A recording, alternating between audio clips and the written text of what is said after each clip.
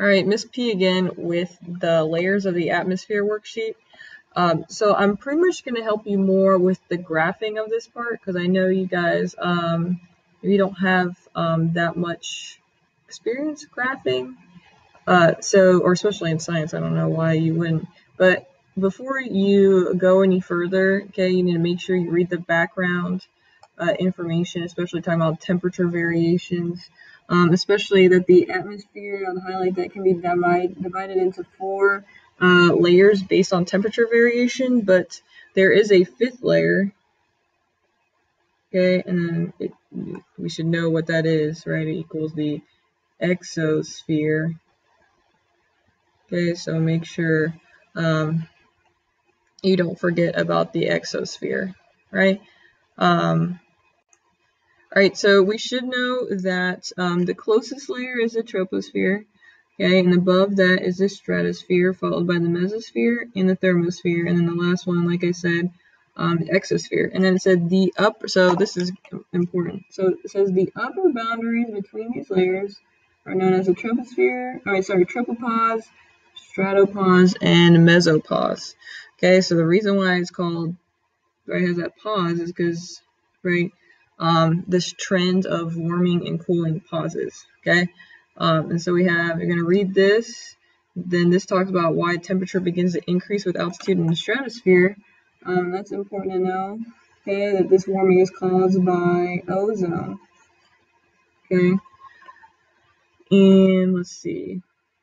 I'm going to read more about that. Um, with pollution, you read that. And then at the stratopause, temperature stops increasing with altitude. And we'll see this when we graph.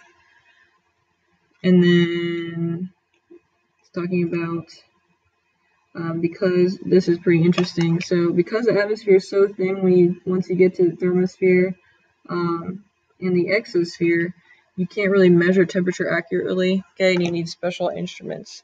So make sure you read through that um, before you go any further, so you can pause and read it.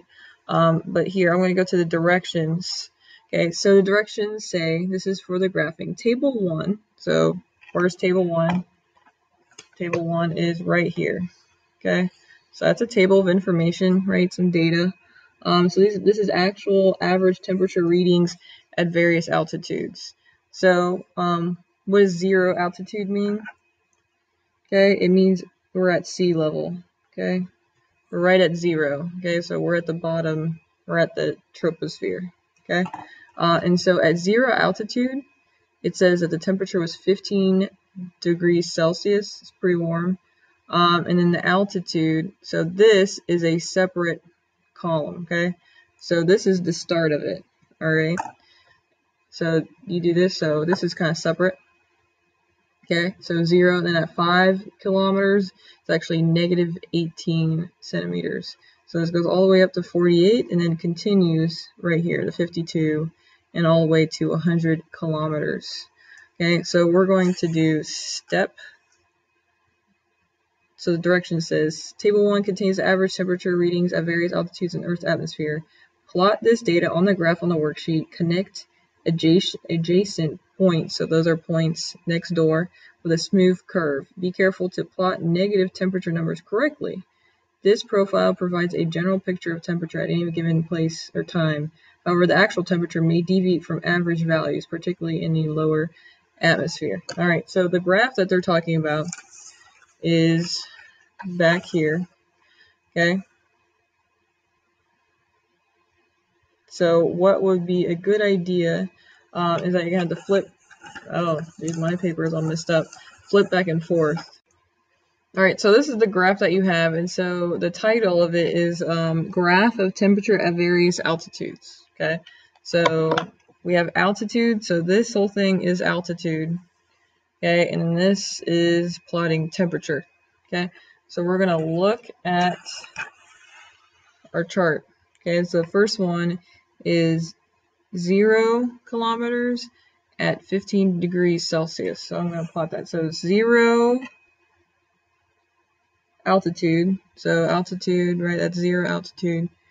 And we're at 15 degrees Celsius. So these are negatives. Okay, so 15, so 15 is in between 10 and 20.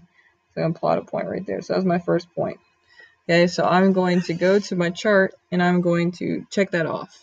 Okay, that I did that. And so the next one is 5 kilometers and it's negative 18. So 5 kilometers right there and I'm going to go to positive 18. So, oh no, no, actually negative 18. So I'm going to go um, it's kind of close to negative 20 right there. Um, so I'm going to plot my point right there. And then I'm going to check that off. And I'm going to continue to do that until I get to the end. Okay, so I got to this point where um, I had the same temperature um, for two points in altitude. So it was like right here. So I had like at 12, it was negative 56.